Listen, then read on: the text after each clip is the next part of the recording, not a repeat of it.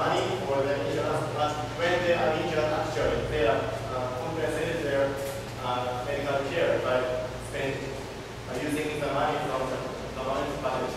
Okay. Considering that America is the worst budget deficit it's ever had in its history, where exactly you going to get all this money? That this thing is going to run in the millions, not in the billions. But, um, rather than the money spending, we should prioritize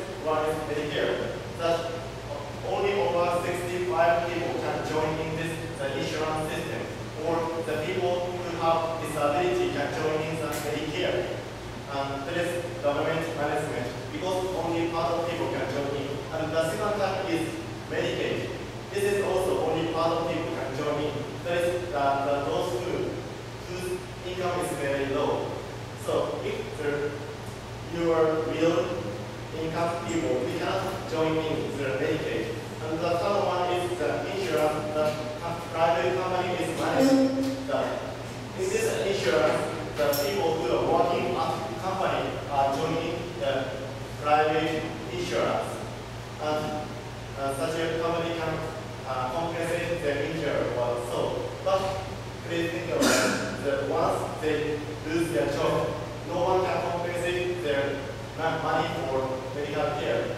So actually, the tens of thousands of citizens in America are losing their life because they cannot pay money for the medical care and their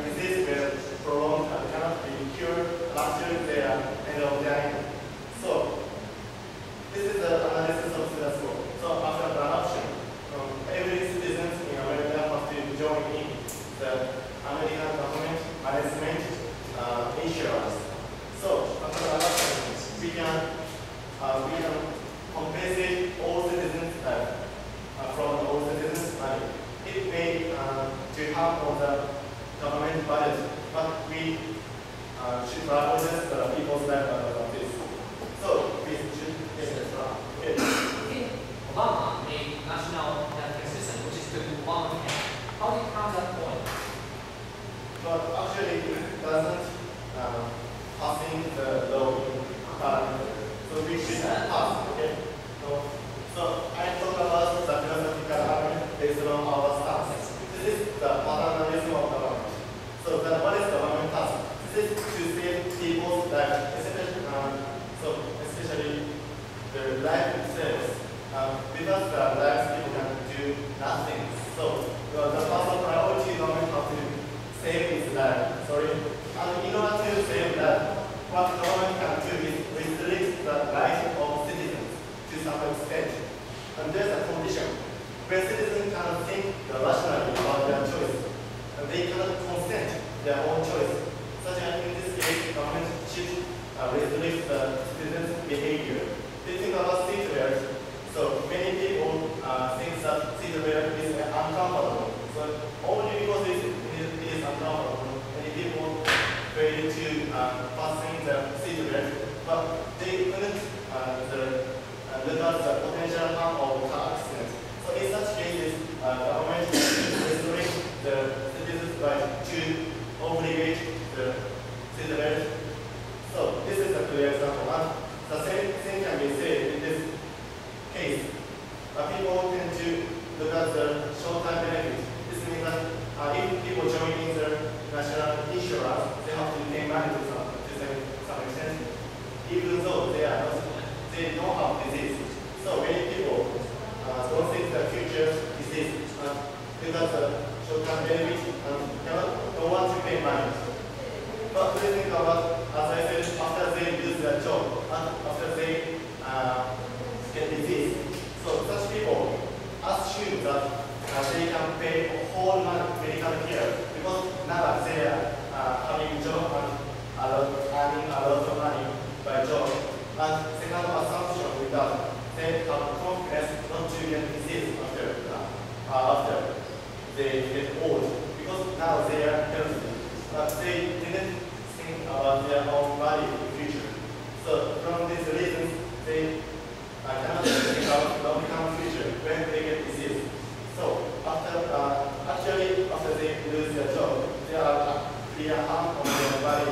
As I said, this is uh, clear harm is that they cannot pay money for medical care and they have to lose their life unfortunately. In such cases, as I said, like Cinderella case, uh, as a government, they uh, we can restrict the right of citizens and to take people's life. So, uh, repeatedly, our priority is